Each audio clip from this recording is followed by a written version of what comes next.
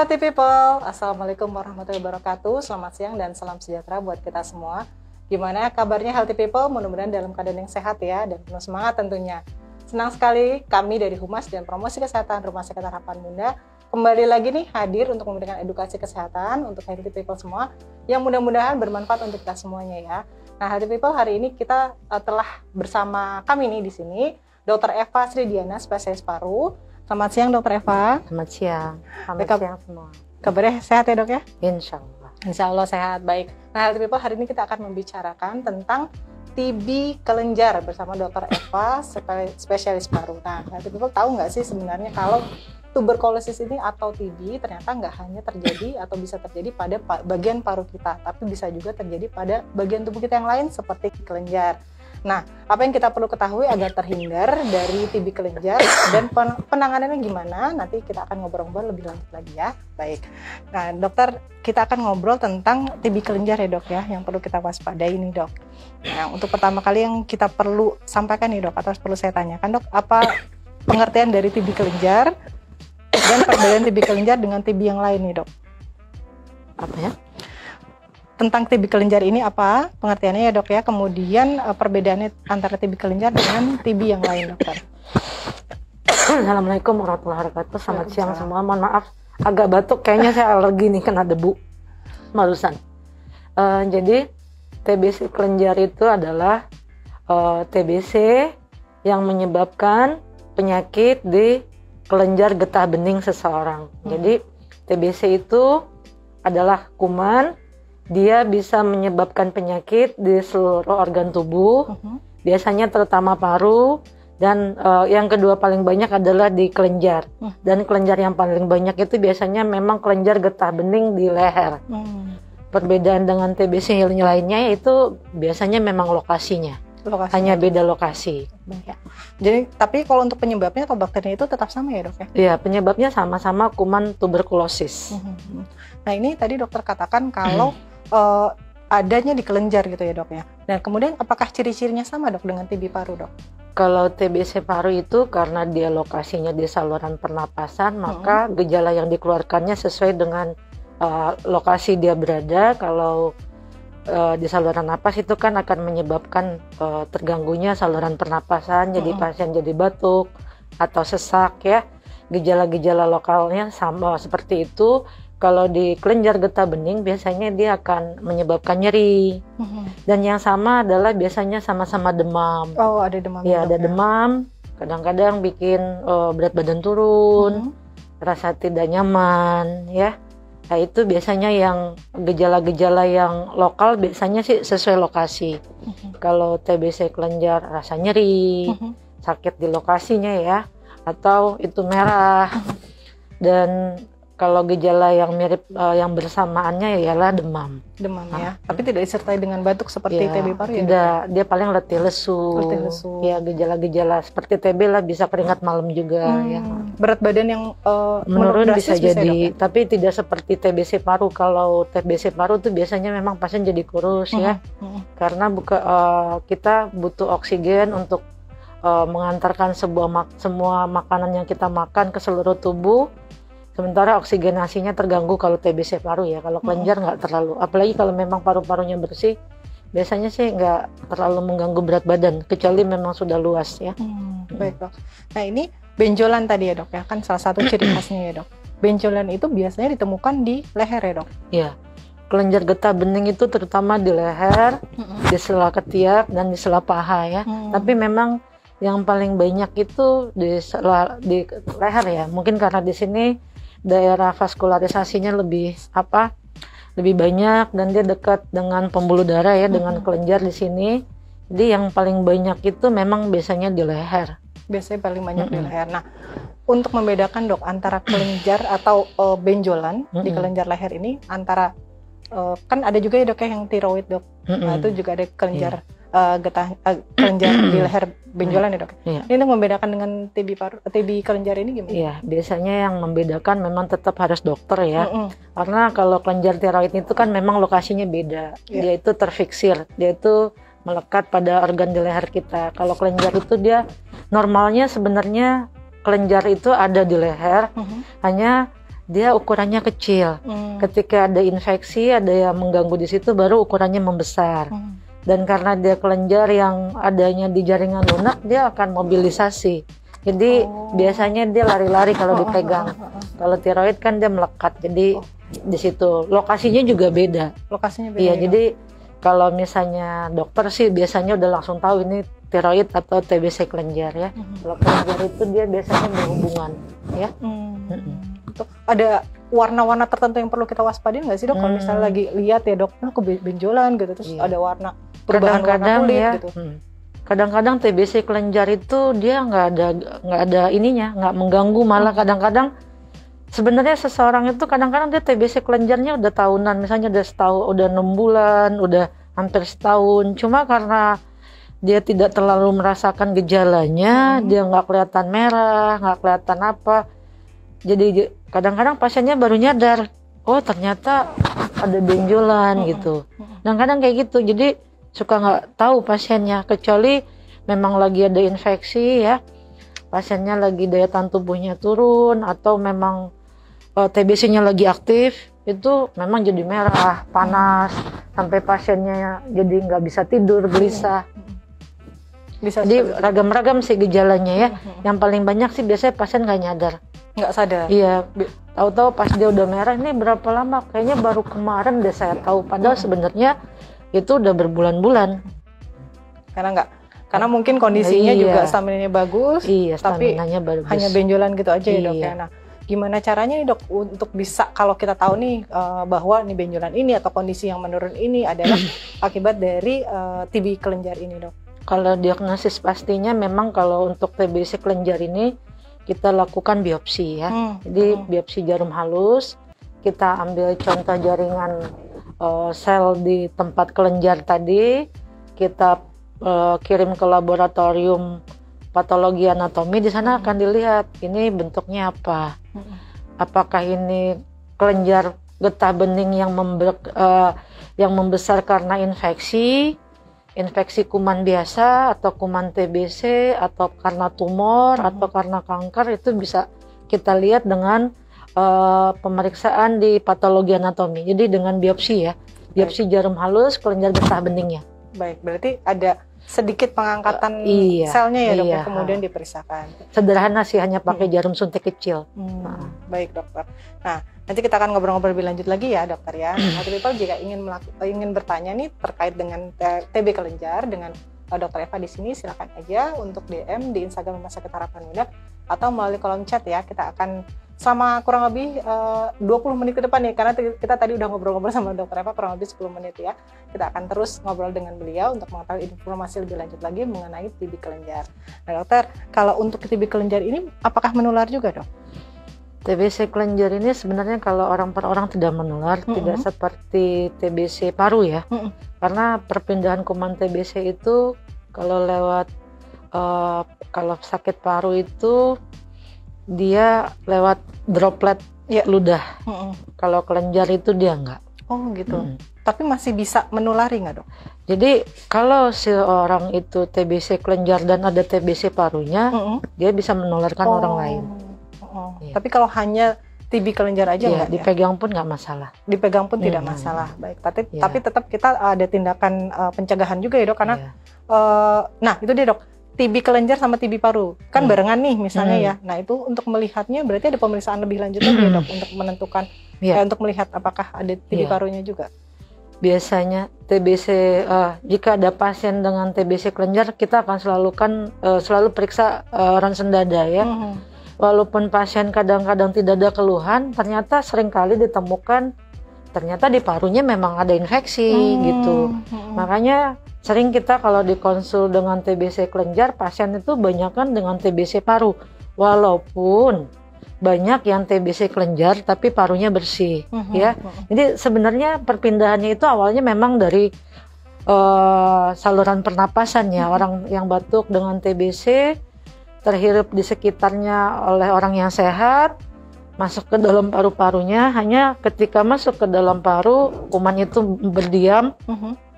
Dengan adanya daya tahan tubuh yang bagus kumannya berdiam di paru dan di paru itu ada eh, saluran pernapasan berdekatan dengan eh, daerah pembuluh kelenjar getah bening, berdekatan dengan pembuluh darah. Nah, di situ kuman akan masuk ke kelenjar getah bening, dia di sana menetap dan biasanya karena kelenjar getah bening itu mereka juga punya saluran sendiri. Mm-mm. Nanti dia akan naik ke saluran di leher. Nah, di leher biasanya ketika daya tahan tubuhnya sedang turun, makanya kumannya berkembang biak, Hmm. jadi benjolannya jadi besar. Hmm. Bisa aja kalau sakit.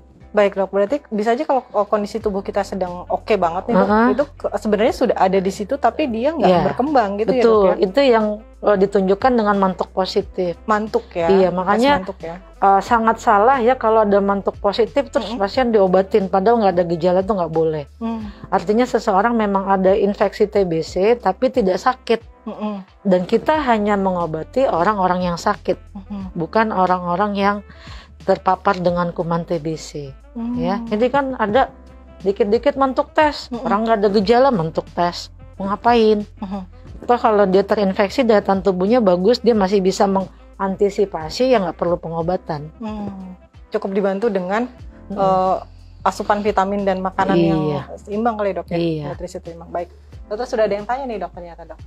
Eh, saya memiliki TB kelenjar sudah dua bulan, benjolan di leher tidak hilang dan berat badan turun drastis. Saya sudah tes darah lengkap hasilnya normal. Apakah TB kelenjar tidak bisa dilihat dari tes darah? Nah ini tadi kita sudah bahas ya dok, yang Iya. mungkin boleh dijelaskan kembali dokter. Jadi sudah pengobatan dua bulan ya.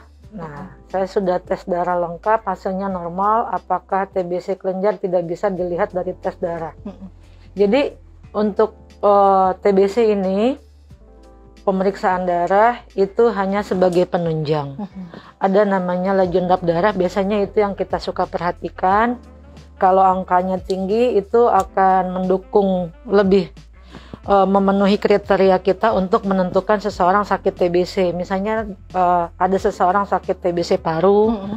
tapi dia foto ronsen apa dahaknya negatif, Hmm. gejalanya khas, ronsennya khas, tapi eh, kita memastikan ya ada butuh. oh, jadi kita ada tambahan pendukung, lab pendukung, misalnya laju endap darah dari hasil dari pemeriksaan darah.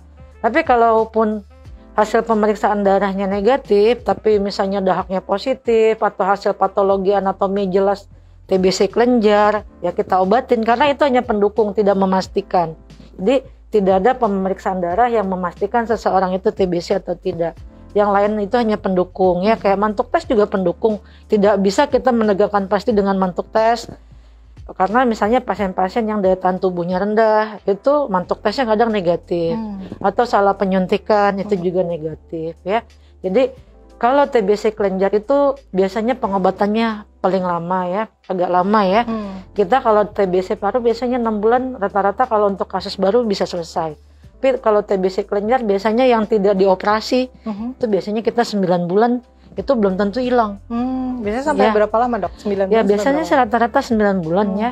Jadi memang kalau TBC kelenjar itu dioperasi biasanya kalau setelah pengobatan 6 bulan bagus, tidak ada tanda-tanda hasil yang lain-lainnya bagus, biasanya kita gejala klinis juga udah bagus ya, itu kita udah bisa selesai. Hmm. Tapi kadang-kadang kan eh, hampir kebanyakan TBC kelenjar itu nggak dioperasi, Mhm. cuma di biopsi dapat hasil TBC kelenjar, kita lakukan pengobatan, biasanya sih 9 bulan ya, 9 bulan tuh udah paling cepet. Hmm. Kalau dua bulan memang betul. Jarang hampir kasusnya hanya dengan minum obat dua bulan itu sembuh. Kenapa? Karena beda dengan TBC paru. Kalau TBC paru itu kumannya ada di dalam paru, dia tidak dia begitu obat masuk itu langsung kena kumannya. Mhm. Tapi kalau kelenjar itu obat harus melalui eh, kapsul kelenjar. Nah, kapsul ini yang membuat obat susah masuk sehingga TBC kelenjar itu memang agak susah sembuhnya. Hmm. Jadi ada kapsulnya. Mhm. Membutuhkan waktu lebih lama. iya, ya, jadi ya? lebih lama, susah. Makanya kalau dia nggak pecah sendiri, itu lebih lama sembuhnya. Oke. Eh, apanya nih yang pecah dok? Kadang-kadang TBC kelenjar itu jadi kayak bisul, Oh, dia bikin lubang. Itu ya, dok, Heeh, ya? lubang saking dia udah, Heeh. saking aktifnya sampai bikin lubang. Heeh. Jadi kayak bisul Iya, pecah, iya, iya. itu justru lebih cepat sembuhnya Oh. karena keluar semua Iya, kan. iya, iya. Iya. Oh baik, tapi mungkin eh, tadi ya untuk yang eh, apa namanya yang bertanya ya dok ya, Heeh. mungkin bisa disarankan kembali Bersabar dulu, bersabar dulu ya, ya. dok ya. Memang lambat kadang-kadang kok segini-gini aja ya dok gitu. Kadang-kadang malah yang lucu udah berobat 12 bulan kita mau selesai tahu-taunya benjol lagi sebelah. Hmm. Bahkan benjolnya tuh hebat banget gitu. Heeh. Sampai saya nggak nggak satu dua kali dapat kasus ya. Udah mulus, udah bagus, tahu-tahu benjol, benjol lagi. Merah lagi kan besar. Akhirnya saya konsul lagi untuk dioperasi, ternyata TBC kelenjar lagi. Oh. Jadi memang agak unik, agak eh, agak unik ya kalau TBC kelenjar. Jadi memang nggak bisa diobatin di puskesmas. Hmm. Hanya kalau TBC kelenjar itu selalu dirujuk ke dokter spesialis. Baik, dokter spesialis paru ya dok. Karena ya. uniknya. karena uniknya Ah. itu. Nah, mungkin tadi yang untuk yang bertanya, eh, kita belum tahu juga dok. Tadi pertanyaannya apakah sudah melakukan biopsi atau belum, gitu ya? Iya. Sehingga eh, karena tadi pertanyaannya darah aja ya dok ya. Iya. Mungkin nanti bisa di, Tapi kalau darah memang nggak bisa bisa ya, dipastikan. Dok, ya. Ha. Mungkin Igrai juga tidak memastikan.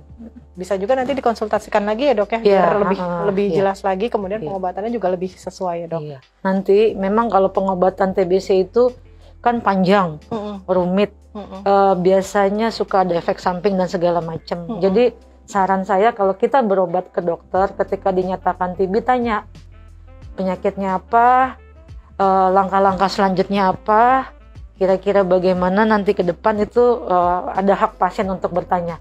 Kalau saya biasanya karena saya tahu pengobatan lama, pasien kalau nggak diberitahu itu gampang putus. Mm, mm. Karena mereka bosan, mereka Ya. tidak mengerti, jadi mereka gampang putus. Makanya untuk pengobatan TBC biasanya saya nyinyir. ya saya akan selalu kasih tahu penyakit bapak ini.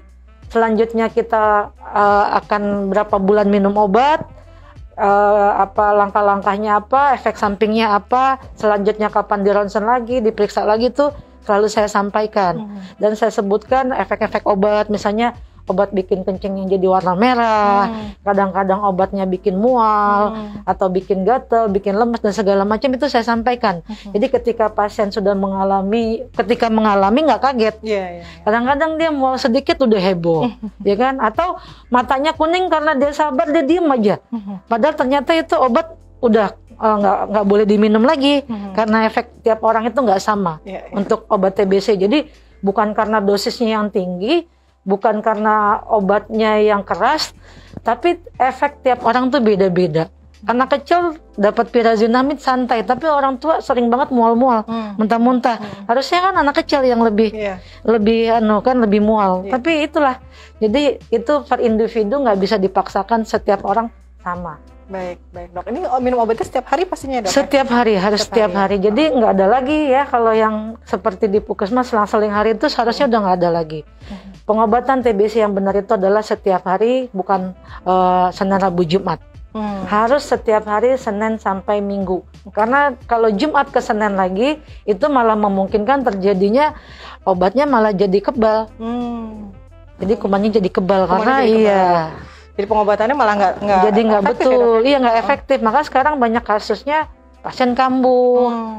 ya kan karena pengobatan di fase satu itu kadang nggak di ronsen Hmm. jadi cuma mengandalkan dahak Hmm. sementara dahak itu kadang-kadang dua minggu dua bulan pengobatan aja udah nggak ada Hmm. ya kan ngandelin darah nggak bisa memang yang harusnya semua akhir-akhir pengobatan mungkin harus dikonsul ya ke dokter Ya. spesialis ya Ya. kapan harus dinyatakan selesai paling nggak ada ronsen Iya, baik.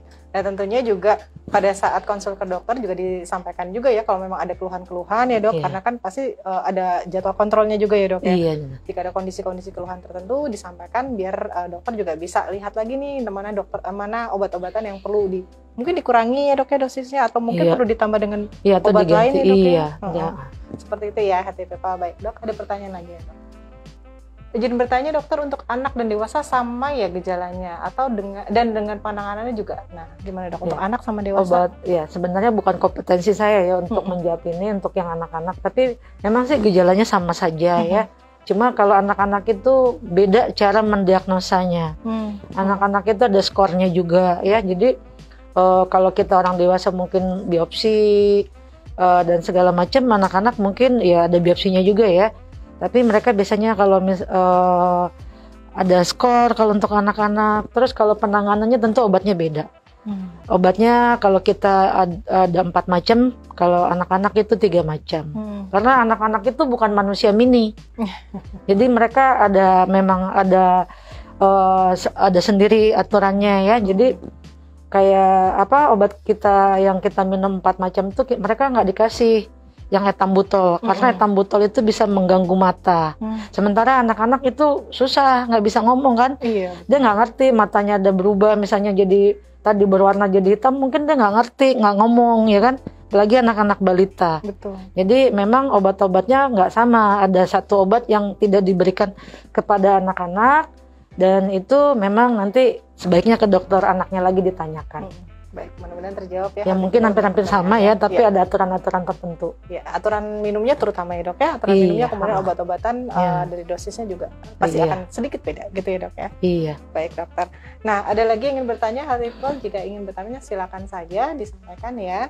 Nah dokter tadi kan dokter juga udah eh, sampaikan nih kalau untuk eh, obatnya sendiri harus setiap hari diminum Iya. gitu ya dok ya. Kemudian bisa aja kalau nggak diminum itu ada efeknya eh, malah jadi resisten ya dok ya Iya, dengan betul. itu. Nah ada efek samping lainnya nggak sih dok eh, dari resisten itu atau mu- malah muncul lagi TB kelenjar yang lain atau ada hal yang lain lagi yang lebih eh, gawat gitu dok kalau nggak Eh, minum obat setiap hari? kalau eh, kalau pasien tidak minum obat setiap hari ya itu tadi Mm-mm. kan jadi obat akan mubazir Mhm. Kalau yang dari aturan dari apa yang Senin Rabu Jumat itu sih saya rasa kita sudah sepakat itu sudah tidak dipakai lagi ya. Cuma saya nggak tahu nih dalam pelaksananya saya masih menemukan ya pengobatannya masih Senin Rabu Jumat di vaskes tingkat satu ya. Jadi itu akan menyebabkan seseorang menjadi kebal obat jadi akan susah pengobatannya. Nah tapi kalau pasien ya ada lagi kasus yang XDR semua obat bukan resisten hanya uh, rifampicin atau INH itu semua obat jadi resisten itu ada juga. Jadi memang sebaiknya jangan main-main dengan Mm-mm. obat TBC Mhm. karena bukan apa-apa ilmu pengetahuan kita sampai saat ini masih sampai seperti ini gitu loh. Mm-mm. Obat-obat utama kita masih empat macam. Iya. Makanya kalau ada pasien yang ada alergi, efek samping obat, nggak bisa pakai obat uh, di antara yang empat ini itu jadi lama pen- pengobatannya Mhm. aturannya mungkin cuma enam bulan jadi 9 bulan jadi Mm-mm. panjang Mhm. jadi jangan main-main dengan obat karena kalau putus obat minumnya seperti itu tidak rutin ya. tidak seharusnya tidak sesuai aturan sulit nanti pengobatannya Mhm. karena yang resisten ini pun akhirnya ada yang lebih parah lagi Mhm. Yang sama sekali nggak ada obatnya. Iya, iya, iya. dan ini berbahaya. Kalau ini makin banyak hancur negara. Biayanya terlalu Iya, besar ya. Pasien-pasien resisten itu kan kita merawat pasien-pasien yang resisten obat ini. Itu biaya per harinya mungkin nggak tahu berapa tuh udah jutaan ya. Sekali minum obat itu dia bisa 20 tablet. Hmm. ada obat suntiknya dengan efek samping yang lumayan. Hmm. mual, muntah, iya. lemes segala macem. Itu luar biasa sedih kita ngelihatnya Iya, dok. ya dan kita juga walaupun angka kesembuhannya tinggi tapi banyak yang gagal juga karena nggak Hmm. kuat sampai selesai Mhm. Mhm. ya kan nah itu jadi jangan sampai kita eh, resisten obat Iya. Berarti tetap tetap harus Iya. diperhatikan untuk aturan Iya. minum obatnya dan ditaati ya dok ya Iya, harus betul. disiplin juga ya baik dokter. Nah untuk makanan nih dok sekarang kita bicara tentang makanan pastinya ada yang baiknya dimakan apa sama yang nggak boleh gitu ya dok ya. pasien-pasien TBC sebenarnya nggak ada pantangan makanan Hmm. ya cuma eh, dengan kondisi kita sakit Mm-mm. tentunya harus dibuat daya tahan tubuh jadi bagus Mm-mm. cara membuat daya tahan tubuh bagus kita harus pola hidup yang sehat pola hidup yang sehat itu cukup waktu tidurnya cukup eh, olahraganya tetap harus ada olahraganya Iya. ya.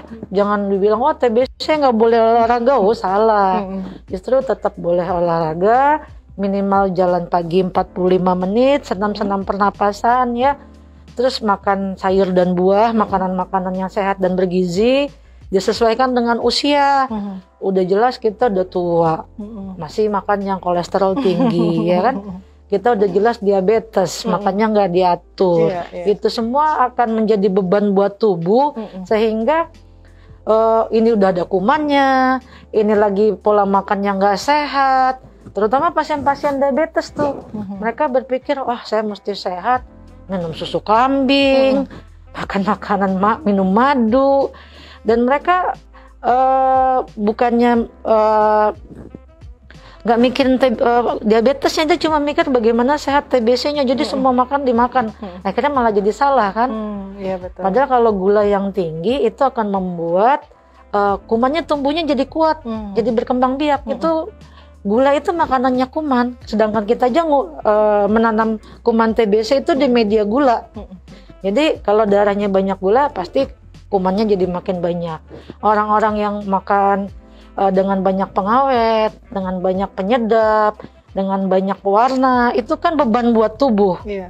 kita udah sakit TBC makan-makan itu lagi bukan cuma kanker tubuh kita jadi lemah penyembuhan jadi lama Penyembuhan lebih lebih Iya. lama dan eh, risiko munculnya penyakit baru juga ada oh ya, iya Dok, ya? terutama kanker-kanker ya Hmm, hmm, hmm. Baik dokter. Nah, jadi kalau pantangannya sendiri sih sebenarnya harusnya nggak ada hanya disesuaikan dengan diri kita sendiri, diri kita sendiri Iya. ya. Diri- kalau kita masih muda butuh susu ya harus minum susu Mm-mm. kalau kita udah eh, ada diabetes ya mungkin susu susu diabetes Eh, kalau udah lansia susu susu lansia jangan semua dicampur aduk Mm-mm. Berarti dilihat juga dengan kondisi diri Iya kita sendiri ya, ya, disesuaikan, ya. juga. Bagaimana supaya kita punya daya tahan tubuh yang bagus. Mm-mm. Baik dokter. Nah dokter, tadi eh, dokter Eva juga sempat eh, sempat menginformasikan ya, dok sesingkat ya dok untuk kondisi di mana eh, TB kelenjar ini sudah dinyatakan sembuh. Nah boleh Hmm. dok mungkin diulangi lagi ya Iya. dok ya. Kapan kita menyatakan Mm. seseorang TBC-nya sembuh? Iya. Ya kita lihat dari pertama eh, ya tadi jangka pengobatan biasanya har- eh, 6 bulan 9 bulan ya. Mm. Memang pasiennya operasi di awal, memang kelenjarnya selama 6 bulan itu memang tidak ada. Mm. Klinisnya bagus ya maksudnya bagus berat badannya naik atau kalaupun tidak naik tapi dia sudah sehat segar tidak ada keluhan eh, semuanya bagus lagi aktivitas sudah biasa. Kemudian dari pemeriksaan darahnya kita juga lihat sudah ada eh, apa tanda-tanda eh, apa penyakit-penyakit kronis ya Eh, kalau memang ada hubungannya dengan TBC paru parunya juga sudah bersih Mhm. itu bisa kita nyatakan sembuh. Tapi kalau misalnya masih ada benjolan, biasanya kita sampai 9 bulan. Mm. Nah, 9 bulan ini kita biasanya USG leher ya, diukur apakah selama pengobatan itu ada nggak eh, menetap atau benjolannya tuh makin kecil atau makin besar. Kalau makin besar masih aktif, tentunya pengobatannya terpaksa lanjut terus. Mm. Kadang-kadang tuh TBC-nya masih ngalir. Mm. Udah 9 bulan, masih aja benana-nana. Ada lagi di sini sampai 12 bulan itu kita nggak bisa stop. Iya iya iya. Karena kalau di stop nggak sampai satu bulan dia banyak lagi. Hmm, malah muncul di mana-mana gitu ya, iya, dokter, di karena itu itu lain. Hmm. uniknya TBC kelenjar nggak bisa kita pastiin. Ini 9 bulan udah selesai itu nggak bisa. Hmm. Karena kalau 9 bulan misalnya kita udah cek semua bagus semua bagus, kita harus pastikan TBC ini membesar apa makin kecil atau diem aja. Tapi kalau udah tiga bulan stuck, tidak membesar, tidak mengecil, pasiennya eh, baik-baik saja, itu biasanya kita udah anggap selesai. Jadi eh, TBC itu sembuhnya dua, Mm. betul-betul hilang Mhm. atau masih ada tapi memang sudah tidak ada perubahan lagi dengan penambahan terapi. Hmm. Ya. Ini berarti udah dinyatakan selesai. Hmm. Karena kita tambah pun dia udah membeku, udah Hmm. jaringan mati, tidak bisa, memang tidak akan hilang lagi. Cuma resikonya nanti orang yang sembuh sempurna Hmm. dengan orang yang masih ada sisa itu ke- kemungkinan kambuh lebih tinggi yang masih ada sisa. Oh, baik dokter baik. Nah, eh, nah people ini sangat menarik sekali pembahasan hari ini juga ya karena kita lebih tahu lagi nih tentang TB kelenjar karena TBC nggak hanya di paru ternyata tapi ada juga bisa muncul di kelenjar tubuh kita. Dok ini ada yang tanya lagi dok ternyata dok. Eh, adik saya divonis TB dan setelah diberikan pengobatan dua minggu malah keadaan saya adik saya memburuk dan drop. Setelah dibawa ke dokter spesialis, dok menyarankan untuk stop obat TB. Setelah stop obat seminggu kemudian diberikan INH dan entam, etambutol. Apakah itu bisa resisten?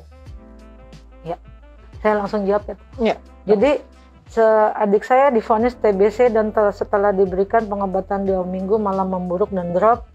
Setelah dibawa ke spesialis disarankan untuk stop. Setelah stop seminggu kemudian diberikan INH dan etambutol. Apakah itu bisa resisten?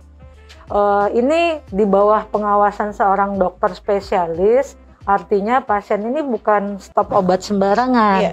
memang dalam perhitungan ya. Jadi ini bukan uh, kita akan memberikan pengobatan itu berdasarkan ilmu dan kita sudah timbang ya apakah pasien ini akan jadi resisten atau tidak. Bukan ya jadi tidak resisten.